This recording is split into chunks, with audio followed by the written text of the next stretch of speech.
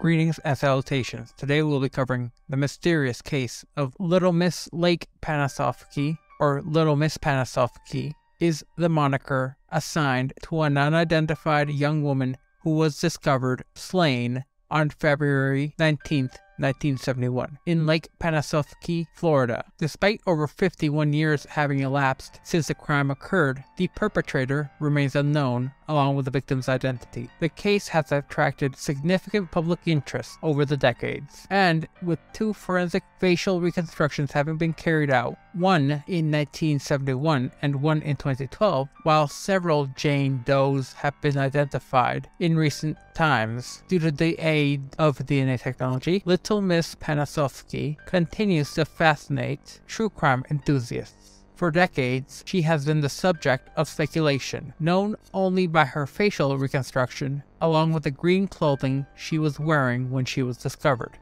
In 2023, as the 52nd anniversary of her death approached, her case remains compelling as ever. It must be noted that Lake Panasoffkee is a small city located in central Florida, situated around the lake that bears the same name. Despite its apparent serene location, it was the site of a gruesome discovery in 1971, particularly on February 19th of that year when two teenagers hitchhiking along Interstate 75 who were hoping to catch a ride made a most shocking discovery. As soon as they stood on Lake Panasoffkee Bridge, which spanned an entire section of the lake, they noticed something rather unusual floating in the water below. Upon closer inspection, and much to their shock and horror, it was a body clad in green. A single hand was protruding from the water's surface. She was dressed entirely in green and still had a leather belt tightly wrapped around her neck. Investigators determined that she had been dumped into the water from the overpass. Despite the victim's unique clothing and obvious signs of foul play, the police were sadly unable to identify her. In the years that followed, numerous leads were pursued, but none of them would result in any form of breakthrough. As the decades passed,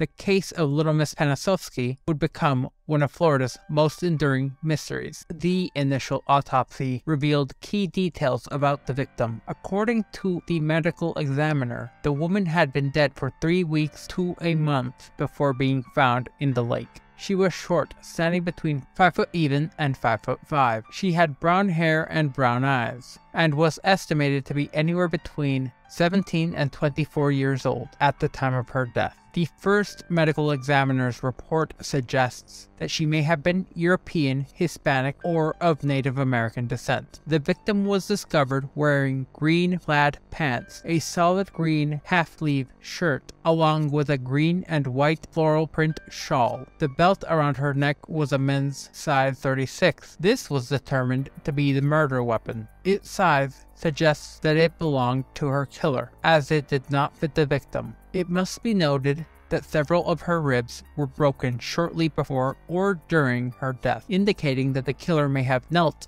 on her chest while strangling her with the belt. Little Miss Lake Panasoffkee was also found with several pieces of jewelry, including a white gold lady's wristwatch from the brand Baylor and a thin gold necklace, along with a golden ring with a clear stone on the ring finger of her left hand. The presence of this ring suggests she may have been married when she was alive. Despite being a victim of a violent crime, she had notably excellent dental care, including five silver fillings along with a porcelain crown. This indicated that she had the means throughout her life to care for herself well. However, she did have an injury in her lower right leg, which led to keratosis or inflammation around the bones, which would give her a noticeable limp identification proved to be a rather difficult task for investigators. Dental records were initially used and seen as the best option, as her fingerprints were not able to be taken due to the high amounts of decomposition. However, this method did not provide any leads, leaving the woman to remain unidentified. There were also no recent missing persons reports which matched her description, along with no one coming forward, and eventually, six months after her discovery, little Miss Panasoffkee was buried in Oak Grove Cemetery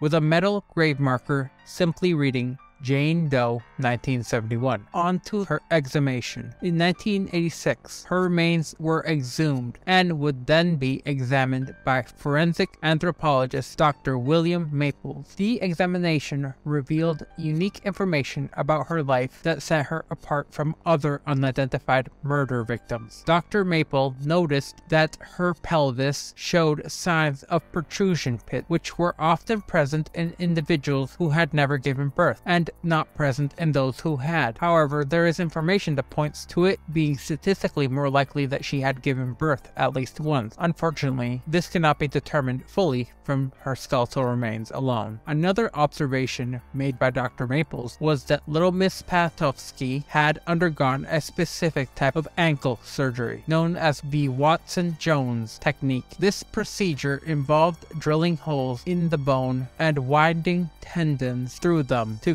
correct ankle instability. Dr. Maples estimated that the surgery was done shortly before her death between 1967 and 1979, as there was still some amounts of swelling present in the leg, which was noted during the initial autopsy. He believed that the orthopedic surgeon who performed the surgery may have remembered the patient. However, unfortunately, no one would come forward when this information was announced. She also had hair lines on her bone, which were indicative of periods of stunted growth during childhood or adolescence due to malnutrition or long lasting illnesses. Many subsequent renderings by different artists and institutions have been based on this new information. Overall, while the examination of her remains did provide some unique insights into her health, her identity remains a mystery. Then, in 2012, a stable isotope analysis was performed on little Miss Panasoffkee, which proved some fascinating insights into her origins. This particular technique involves examining the stable isotopes in a person's teeth or hair in order to determine the elements and minerals which they were exposed to during their lifetime. These isotopes are derived from soil and water and are primarily recorded in a person's teeth, allowing the individual to be linked to locations after their death. The analysis of her hair revealed that she recently moved to the United States from a location where wheat was more common in the diet than corn. Researchers have theorized that she may have originated from Europe, where wheat is more prevalent, rather than the US, where corn is more commonly consumed. This may explain why identifying her proved so challenging, as she was likely not a native to the area where she was found. Further analysis of her teeth narrowed down the origin even further. High level of oxygen isotopes indicated that she grew up near the ocean, while high levels of lead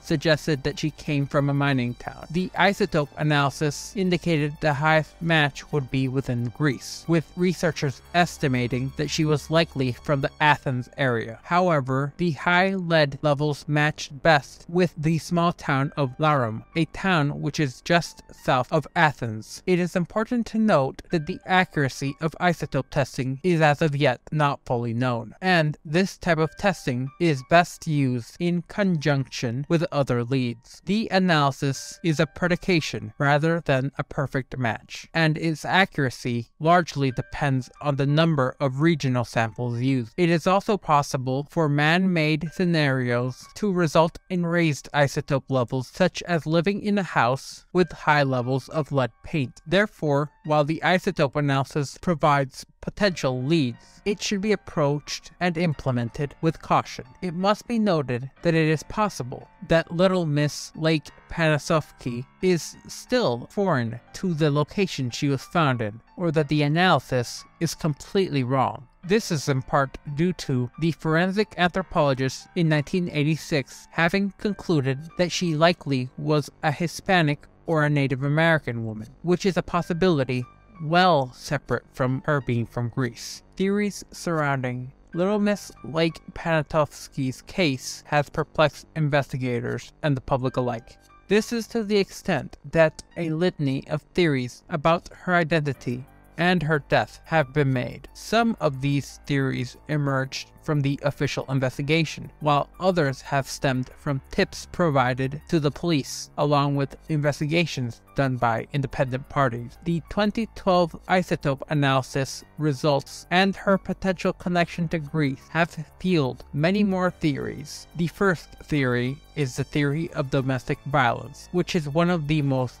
plausible theory. The fact that she was strangled and none of her jewelry was taken suggests that someone likely committed a crime of passion and this individual knew her well. And while the killing could have been a random act, it appears it was driven by primarily anger, which aligns with the possibility that our Jane Doe knew her assailant. The ring on her left hand supports this theory even further. There is a large probability that she was married, and her husband, if she had one, is a potential suspect. If she was an immigrant who had recently moved and married an American, her separation from her home country's community could have made her significantly more vulnerable to abuse. Based on statistical data, it is more likely that little Miss Lake Panasoffkee was killed by someone she knew. Whether it was someone she lived with or not, that remains a question that must be answered. However, the likeliness of her killing being due to a serial killer is rather low due to this information. Other theories have emerged throughout the years. In particular, in 1988 stands out. A woman identified only as Carol was reported as a potential match after a witness recognized a clay reconstruction of Jane Doe by artist Betty Pat Gatliff. The witness claimed to have met Carol in 1970 as a runaway and encountered her multiple times at Clearwater Beach, just south of Lake Panasoffkee, until she suddenly and unexplainably disappeared. Carol divulged that she had been forced to give up her child and suffered a leg injury at the time of her disappearance. However, she did not reveal her own last name or the state that she had ran from. However, she indicated that her parents had hired a private investigator to follow her in her past. This led her to flee to Florida, presumably from out of state. This lead was investigated, however, ultimately it was a dead end. Law enforcement would go on to check the arrest and the disappearance records for a young woman named Carol. However, nothing was found. Furthermore, all the information provided by the witness had been previously disclosed to the public, leading to the validity of her claims to not be verifiable. Since then, there's been no updates on the Carol lead. However, despite the possibility that this lead could be potentially fictitious, the circumstances would match well, which means it must remain a potential avenue for further investigation. Focusing on the theory that Little Miss Panasoffkee may have been from Greece is important. However, the reliability of isotope testing used in the support of this theory has been questioned. However, despite this, investigators looked into the events in the area around the time of her death, and they coincidentally found a Greek Orthodox festival had occurred, and the festival's name was the Epiphany Festival in Tarpon Springs, which is in relative close proximity to Lake Panasoffkee. This festival was a significant enough event that people were traveling from different parts of the state and even different parts of the country in order to attend. Investigators believed that it is possible that Little Miss Lake Panasoffkee may have been in attendance at the festival and may have been what brought her to the United States. However, there is no way to verify this claim and no one was reported missing from the festival. Therefore, the lead went cold. While some investigators support this theory, it is improbable that our Jane Doe traveled all the way from Greece just for the singular festival. It is possible that she had come from Greece earlier for another reason, likely marrying into or immigrating into the United States, and the festival just attracted her to the area. However, the festival itself being the primary attraction connection and reason for her moving to the United States seems improbable. Nevertheless, the Epiphany Festival continues to be linked to Little Miss Panasoffkee's death and is discussed frequently enough in relation to her unidentified status. It must be noted that further investigations into the festival could potentially provide new leads into the case. Another of the more popular theories regarding the identity of Little Miss Panasoffkee is known as Konastina theory. The theory gained traction after a Greek missing persons TV show aired in 2012. Following the show, a woman called the TV station and claimed that Little Miss Lake Panasoffkee was an old friend of hers named Konastina. The caller had met or supposedly met Konastina through school in Athens, where they both studied home economics. Konastina lived in Laurium because of her brother being stationed at a naval base there. The caller and Konastina were supposedly good friends until the 1970s, where they separated. The school sent its graduates on two years working contracts to either Australia or the United States. The caller went to Australia, while she claims that Konastina went to the United States, and that time was reportedly the last time she had seen her friend.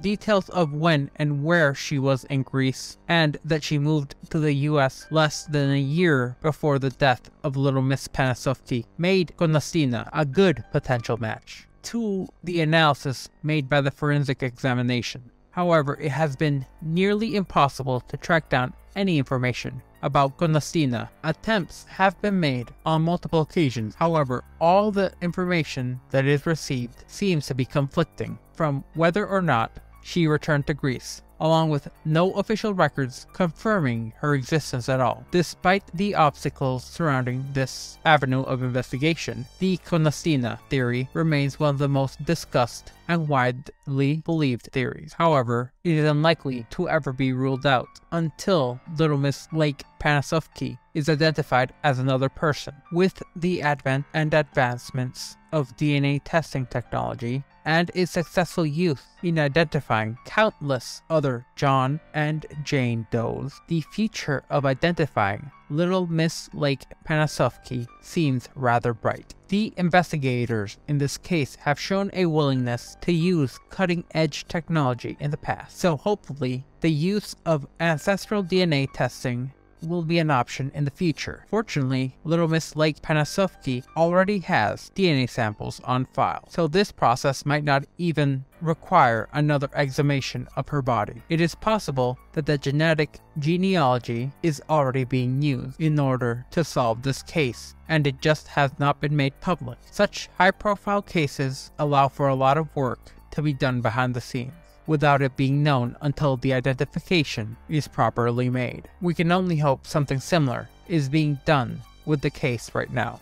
As technology advances, it is increasingly likely that Little Miss Lake Panasoffkee's identity will be revealed, potentially leading to the identity of her killer also being found. And despite 50 years having passed since the murder itself, justice might yet be served. What information is concretely known about Little Miss Lake Panasoffkee is that she was a young, white or Native American female with brown hair and brown eyes, and that she was murdered in February 1971 and was left in Lake Panasoffkee near Interstate 75 still wearing her gold jewelry and green clothing. Earlier in life, she suffered from ankle problems, which resulted in a surgery, which may have left her with a limp.